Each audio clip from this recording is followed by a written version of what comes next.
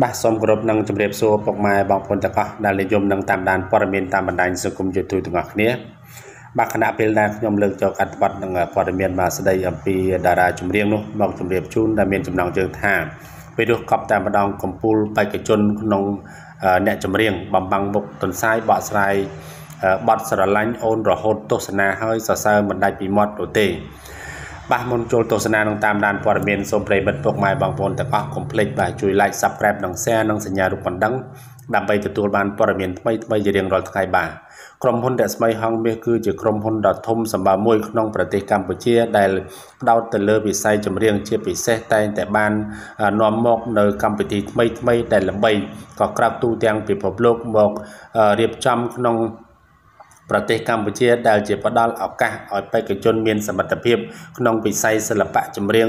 អាចចូលរួមប្រកួតប្រជែងសមត្ថភាពដណ្ដើមយកជ័យលាភីអ្វីដែលកាន់តែពិសេសនោះគឺមានការចូលរួមពីគណៈកម្មការដល់ទៅ5រូបដែលមានសុទ្ធសឹងតែតារាល្បីៗប្រចាំប្រទេសកម្ពុជានិងមានវោហារស័ព្ទចាក់ទឹកមិនលិចផ្ដល់ភាពរីករាយដល់កម្មវិធីតែម្ដង ដែលក្នុងនោះរួមមានដូចជានបបញ្ចរិទ្ធនៃក្រមអ្នកនាងពេជ្រសភាកញ្ញាសុកស៊ីឡូឡាលីននិងលោកម៉ាដូណាហើយចំពោះម្ចាស់ជ័យលាភីនឹងទទួលបានរង្វាន់100លានរៀលថែមទាំងថ្លៃខ្លួនជាតារាចម្រៀងក្នុងកងត្រាចំនួនថ្មីរបស់ផលិតកម្មរស្មីហង្សមាសផងដែរ។ យ៉ាងណាមិញនារាត្រីយប់ថ្ងៃទី22ខែធ្នូឆ្នាំ2019ម្សិលមិញនេះកម្មវិធីប្រឡងចម្រៀងសម័យ Digital ប្លែកពីគេ The Max Singer Cambodian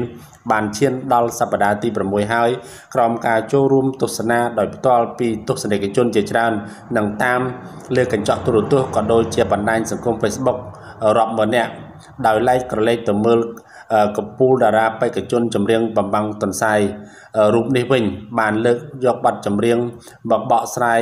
មានចំណងជើងថាស្រឡាញ់អូនរហូតដែលជាសំនៀងដើមរបស់លោកនប់បញ្ញរិទ្ធពិតជាមាន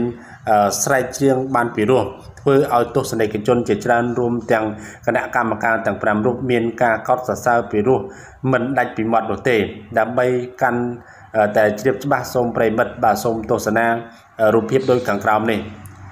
បាទឥឡូវតារាចម្រៀងបាទមួយថ្ងៃទៅមួយថ្ងៃក៏មានភាពបាទ